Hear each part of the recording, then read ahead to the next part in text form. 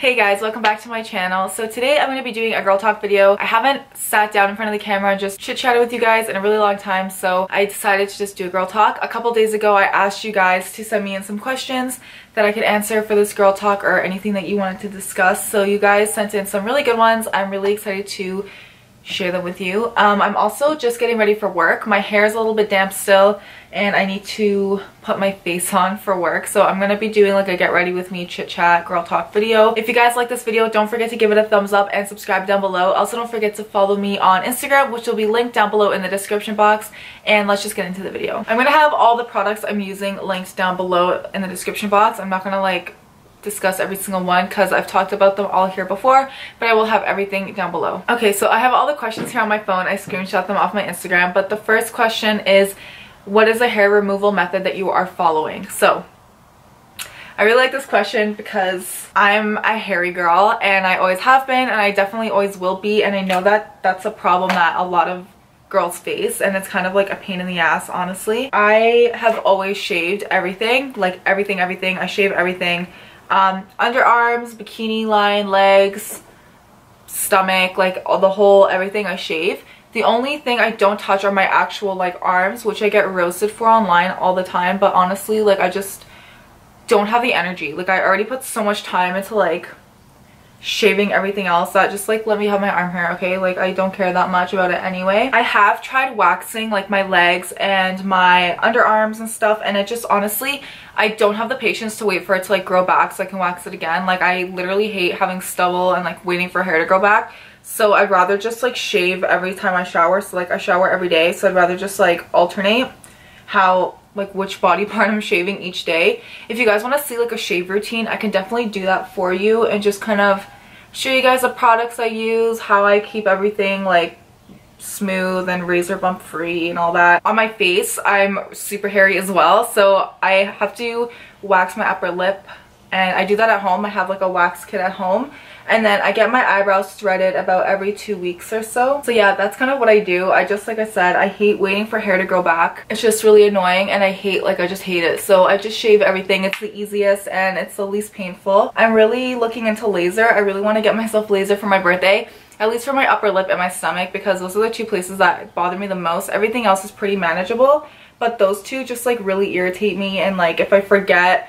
or if I don't have the time to deal with it like it just really bothers me so. Okay the next question I got is what are some good ways that you cope with stress and any advice for when you're feeling unmotivated? Okay I'm not good at coping with stress at all. I'm a very very highly stressed person. Like I'm I have a lot of anxiety. It's something that I've been really trying to work on though because it's just like not adaptive anymore. Like it's not good stress it's like everything just gives me like anxiety everything freaks me out um, especially when it comes to school and like work. When I feel really stressed I like to just try to take some time to myself and just take a minute to like step away from whatever I'm doing that's freaking me out. And I always like call my boyfriend because he's really good at making me feel better and just being like you know what? Like it's not that big of a deal. Like in a couple days like this isn't even gonna matter. So like why are you giving it so much attention? Blah blah. And honestly if i'm like worried about an assignment or something the best thing i can do is just do the freaking assignment.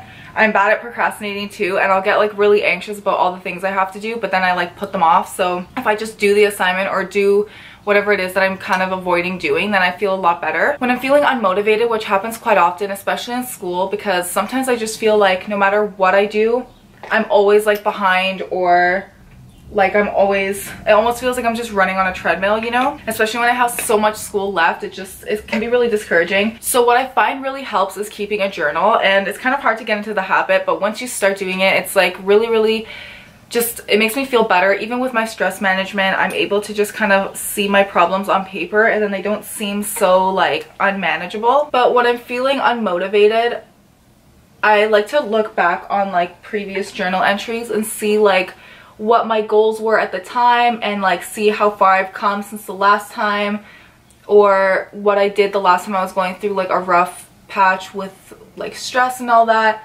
And it just i don't know it just really motivates me to get my shit together because i'm like well if i've done it once i can do it again. So and i just try to talk to someone about it honestly. That's like the best advice i can give. Like talk to your friend talk to a parent talk to your significant other whoever um, just to kind of get your feelings out and get a little bit of support because that's honestly the most important thing you can have is like a good support system. But yeah, that's what I do when I'm freaked out. Okay, so quite a lot of you asked about body image.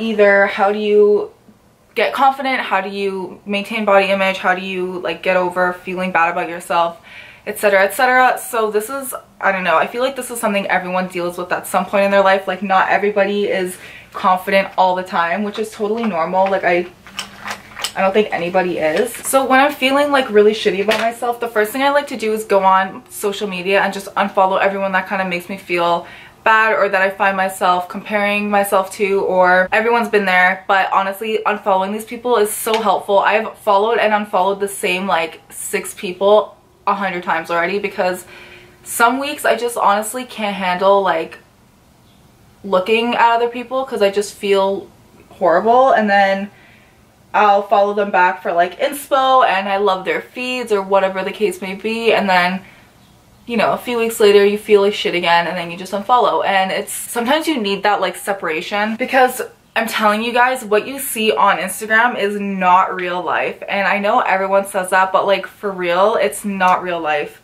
even if you don't edit your photos, even if you don't Facetune, anything like that, like regardless, when people post on Instagram, they're posting like what they like their best, you know what I mean? So they looked really good that day. Their makeup turned out awesome. Their hair looked great. Like they were feeling not bloated that day, but like you don't see what they look like behind the scenes. And I tried to start thinking about my body image like less about how I look and more about how I'm feeling because I feel like everyone especially in terms of like fitness and following fitness accounts and stuff, we forget to like love our bodies and love ourselves like throughout the process.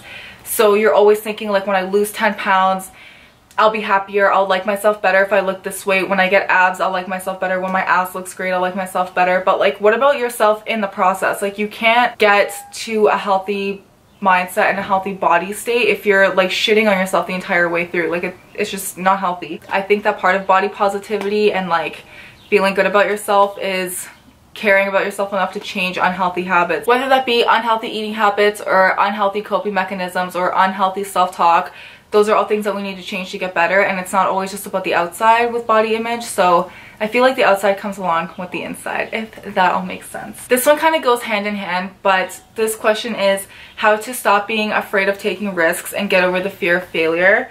This is really common, I'm assuming, like everyone's scared of failing or like wasting time and messing up or whatever. But I kind of try to think of it like if you don't try, then you kind of failed already. Like you didn't even give yourself the chance to do it. Like I said earlier, I'm a very high stress person. So I'm kind of that person that's always like, what could go wrong you know what i mean like i always go to like the worst case scenario in my head and I'll, sometimes i feel like that'll hold me back with some things because i just in my brain like the cost is not worth like whatever it is i'm trying to do so like the the risk of like the failure isn't worth like whatever it is that i'm trying to do and I'm really trying to let go of that mindset because it's so stupid and it literally holds you back from doing so many fun things or just trying new things. Like there's so many things that you don't know you're going to be good at or that you're going to enjoy until you've tried it. I mean, take baby steps, but that's my advice. Like just honestly push yourself out of your comfort zone. This is what I'm looking like so far, honestly. Last question because I need to go to work. Somebody asked, how do you deal with jealousy in a relationship? Um, I've talked about shitty relationships in the past, I feel like you can't talk about it enough. If you're in a relationship where your partner is super jealous, super controlling of you, very like possessive, get out of that really like literally just get out of the relationship. It's not worth it. If you're with someone who doesn't trust you if you're with someone who's constantly accusing you of cheating and talking to other people it's not gonna work.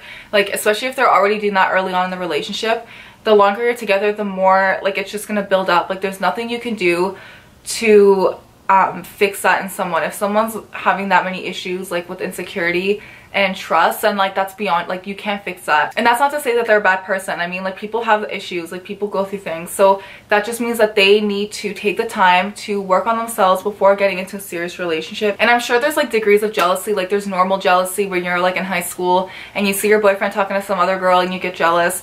But even then like i feel like if you're if it's really jealousy that's kind of a sign of immaturity. If your partner is making you feel jealous or making you feel like you can't trust them then that's another sign that maybe you shouldn't be together or that's something that you need to figure out within yourself. So if your partner is doing things that um, cross boundaries that you've already laid out or doing things that are making you uncomfortable, you need to have a talk with that person. And if you've already had this conversation multiple times and they're not respecting your um, your boundaries and your requests and maybe you need to consider if this relationship is really worth your time. A relationship should be mutually respectful and trustworthy. If you don't have trust, if you don't have communication, it's gonna be a rough time and it's not gonna be very fun. So I'm just gonna really quickly line my lips and put on some lip balm.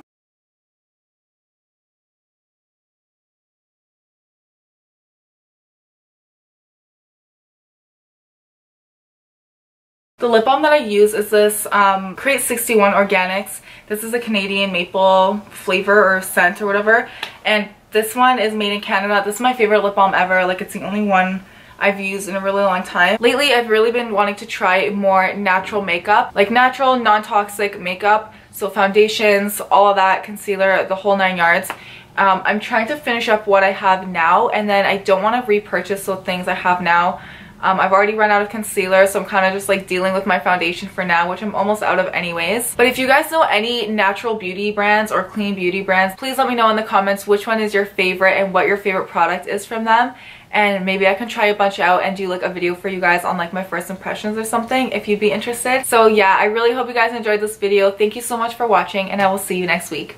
Bye.